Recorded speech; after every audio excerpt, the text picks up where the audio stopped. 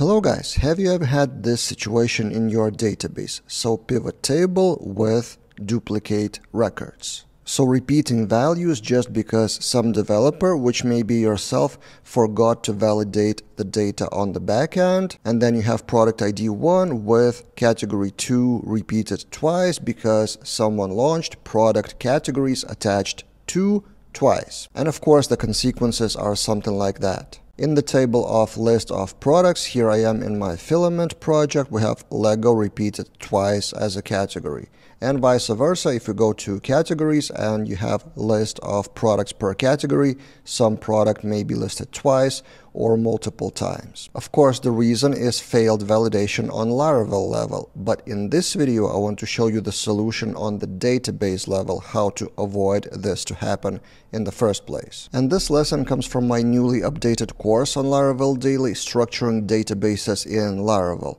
So over the years of working with Laravel, number one performance slowness of performance reason in Laravel is usually database. And not just queries, it's also the structure. So I decided to update and refresh my old course from 2021. So three and a half years ago, I created structuring databases. Now it is refreshed to Laravel 11 in text format with many more practical examples. So you can see 18 lessons here and I will link the full course in the description below. But as usual, whenever I launch a course, I publish some of that course on YouTube. So today I will talk about the topic of duplicating records in pivot tables and there will be one more lesson from this course tomorrow on YouTube. And the full course is available for premium members of Laravel Daily. Again, the link will be in the description below.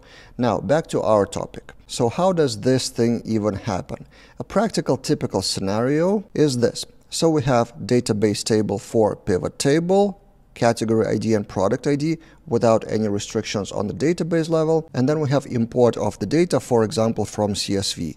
So here I am in my controller. For simplicity, I've put the CSV already in array of PHP because this lesson is not about CSV directly. So the structure is this. We have for each of CSV records, then we create the product by name or find it in the database. So first or create is used, eloquent operation. And then we find the category ID by category name like Lego, clothes, or books from collection to avoid database query for each category. So we have collection once and then we search to that collection and find category ID and attach it. And this is where that thing happens of duplicating the categories. There is no validation here. There is kind of a validation here first or create whether that product exists, but there's no check here. Then that importing controller calculates the processed records or failed records and logs the errors and shows on the screen how many processed or failed records happened. So if we launch that script, I refresh and we have five processed records and zero failed. So there was no exception here for any of those records, although we do have already those five records in the database. So now if I refresh this table again, we have 10 records. And then in the admin panel, it's even worse. See this repeating thing, this repeating thing, and these repeating categories. So it's not just about duplicating twice, it's duplicating multiple times if you're not careful with the validation on this level. The solution. First, let's quickly discuss the Laravel level solution and then we'll get to the database level. So instead of attach, there are more methods for pivot tables. One of them is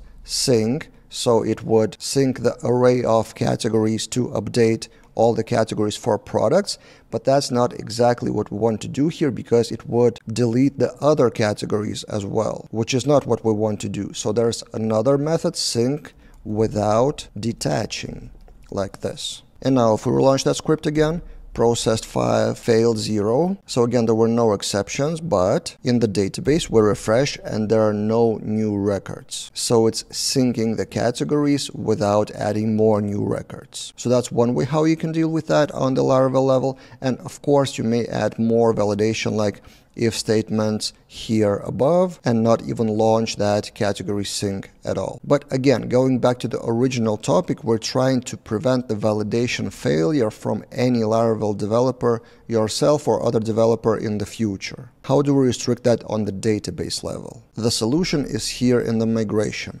In addition to a typical pivot table with two columns, you would add a rule of unique key. So you can do table, unique, category ID and product ID, which would ensure that the combination of those two is unique in all that table.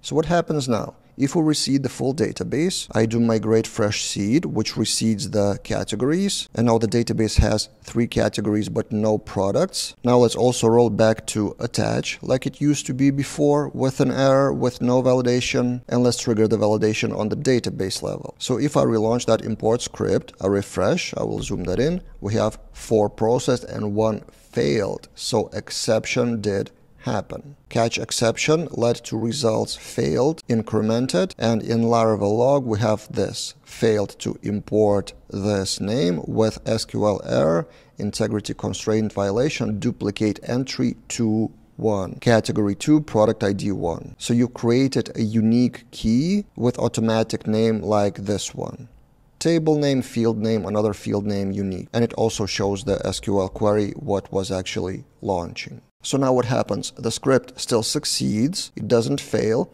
For any exception of duplicated records, it will log to the Laravel log, or you can send a notification to someone or send an email or something like that. And then as a result, you will have how many records fail. Another alternative syntax to this is not unique, but also you can do primary here primary key on both columns. So instead of having ID as an incremental primary key, which is not typical in pivot tables, you can have this, which would also act the same way as unique key. In this case of pivot table, there's no much difference between primary and unique, but generally unique is a bit different. So it may contain null values, for example, and primary key columns, even if it's multiple columns, none of those columns may have null values, for example. But it's kind of an edge case difference. In this case, I would probably go for unique because that's exactly what we want to do here, ensure the uniqueness of that combination. I like to think of those database constraints as kind of the last point of validation.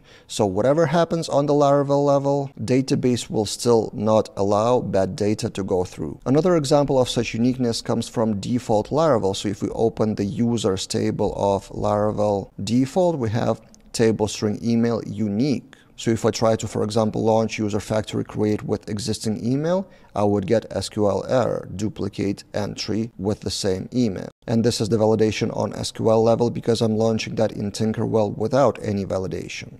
But ideally, you should have both the database level and also Laravel level. For example, in Laravel Breeze registration controller, among validation rules, you may find unique user model. The purpose of this validation is to have human-friendly error from Laravel, like email is already taken, and the purpose of that validation is throwing SQL exception wherever that SQL query comes from. So yeah, my advice is to have both and put the strict rules on database level if you have those, like unique, like foreign keys, constrained, cascade delete or stuff like that because maybe in the future the application will be changed to not use Laravel at all or maybe there will be some kind of API created not on Laravel in addition to Laravel to work with your database. In that case database will still have all the rules for correct data. So yeah, it was one of the lessons based on my course about structuring Laravel 11 databases, about primary keys and unique indexes here, but there are many more lessons and I will link the full course in the description below.